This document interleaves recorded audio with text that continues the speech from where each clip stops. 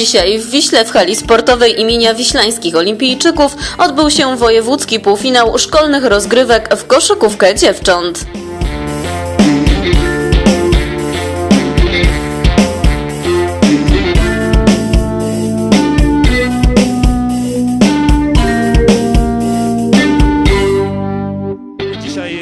Co prawda, będą tutaj na zawodach ze sobą spotykały się drużyny z Katowic, z Tychów, z Chorzowa i z Wisły. Trenerem wiślańskiej drużyny jest pani Ola Nosowicz. Dziewczynki zaczęły przygodę z koszykówką no, 4 lata temu, można powiedzieć.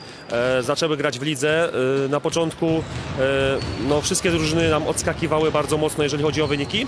Natomiast e, no, po pewnym czasie okazało się, że no, e, sprawność motoryczna naszych dziewczyn e, dawała im bardzo dużą przewagę na boisku. Dzięki temu no, te wyniki zaczęły się układać na naszą korzyść i jeżeli dobrze pamiętam, to rok temu i dwa lata temu nasze dziewczynki już e, uzyskały Mistrzostwo Śląska w swojej kategorii wiekowej.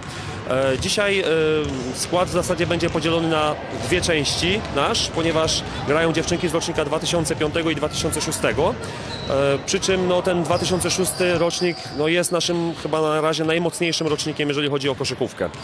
E, Nie ukrywam, że dzisiaj bardzo trudne spotkanie przed e, podopiecznymi pani Oli Nosowicz, ponieważ Katowice są faworytem tak naprawdę. W lidze grają, e, są na wyższej pozycji niż nasza drużyna, więc mamy nadzieję dzisiaj na bardzo dobre spotkanie. Długą drogę dziewczynki z podstawówki przebyły, żeby taki etap w ogóle osiągnąć. Jest to pierwszy etap tego typu, jeżeli chodzi o rywalizację szkół podstawowych tutaj w Wiśle e, w grach zespołowych na tak wysokim poziomie. Wcześniej były tylko występy w zawodach takich jak biegi narciarskie e, lub e, sztafetowe biegi przełajowe. Natomiast do dzisiaj mamy nadzieję, że będziemy widzieli tutaj dobrą koszykówkę. Większość tych dziewczyn trenuje koszykówkę już i gra po kadrach Śląska, więc myślę, że bardzo fajne spotkanie nam się szykuje.